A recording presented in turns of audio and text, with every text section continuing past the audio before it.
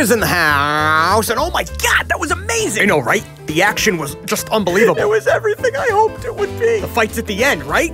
Ah! And when Captain America held Thor's hammer, I'm so happy I could cry. Wait, what? When Cap got Thor's Wait, Are you talking about Avengers Endgame? Well, yeah. What were you talking about? Anyway, oh, hey, there's a new Godzilla movie out. I should review that, right? Yeah, I mean, I'm gonna go watch it. I'll be right back.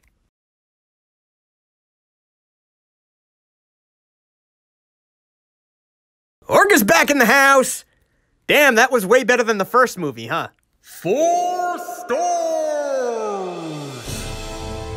Unlike its 2014 predecessor, Godzilla King of the Monsters recaptures a lot of the magic of the Showa and Heisei era Godzilla movies we love so much.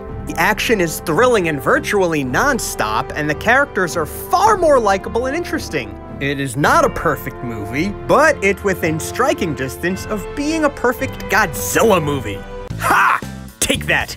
It's like they watched your review of Godzilla 2014 and took all your criticisms to heart.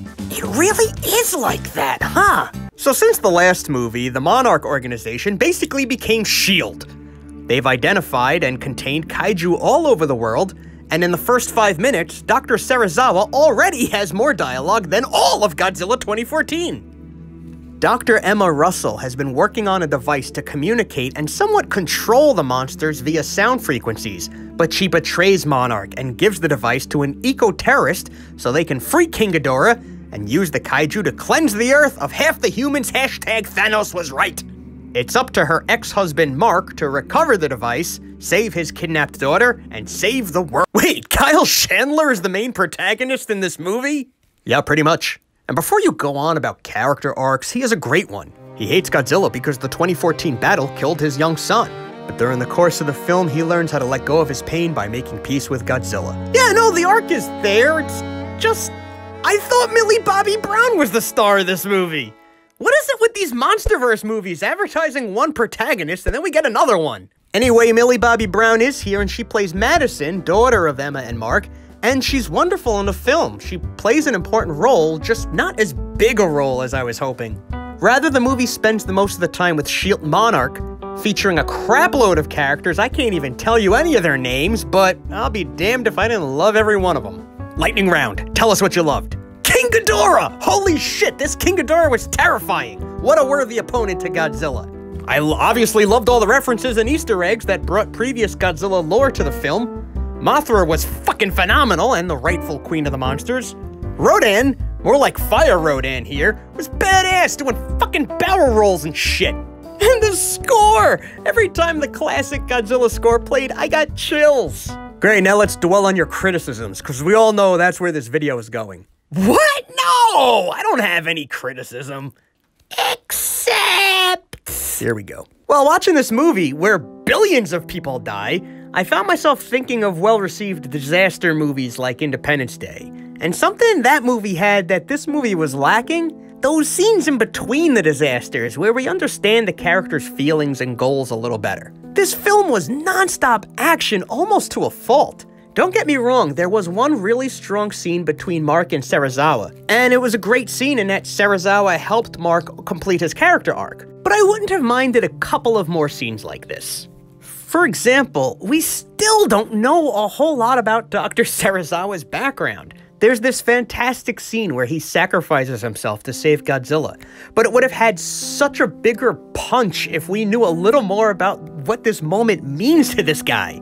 But if the film spent more time building sympathy for Serizawa's ongoing plight, this scene would have been a lot more impactful. And Emma's another example. At first, I thought it was a bold move to have her a villain. I kinda loved the idea of this grieving mother who's out to burn the whole world down to save it. But then she switches sides again when she realizes she can't control King Ghidorah and her daughter is at risk. That's okay, but I kinda wish they fleshed out her character path a little more, as it is complex and deserves a lot more attention. Also, personally, I wish she stayed evil to the end. I mean, once you release a monster who kills billions, you don't really get to have the noble sacrifice story. But listen, that's just me. Hee hee. Woo hoo hoo. Taylor knows what I'm talking about. My favorite thing about this movie was how it was literally a fight to be the king of the monsters between Godzilla and King Ghidorah, and how this is an ancient rivalry. It's the kind of thing that I didn't realize I was missing from so many other Godzilla movies. Yeah, that was my favorite part too. What? Oh, hey man. Hey guys, I just wanted to pop in on this review. Wait, you guys aren't rivals in real life? Nah, we carpooled here. This YouTube channel makes no sense. With so many characters, it's hard to give everyone the attention they deserve. I was kind of shocked how early and non ceremoniously they killed Dr. Graham off. It would have been nice if that had a bit more of a profound effect, but again, we never really got to know her. We didn't get to know a lot of these guys. It was a pleasure to see them on screen, but they're not much more than a peanut gallery to the Russell family's protagonist. What else is there to say? The reviews are short when I love the movies. There's a reason Godzilla fans are going nuts for this film. Unlike the 98 and 2014 films, this film makes an actual effort to be a Godzilla movie, and not just a generic kaiju movie. All in all, this was pretty much everything Godzilla fans could ask for from an American adaptation.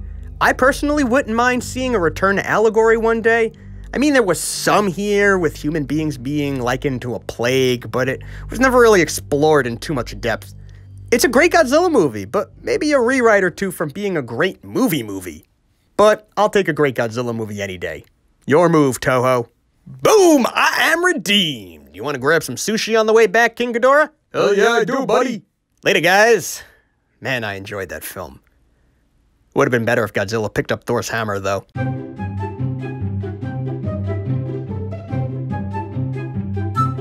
This video was sponsored in part by these patrons. Please visit Monster Island Buddies on Patreon if you'd like to be a sponsor as well. Money, money, money.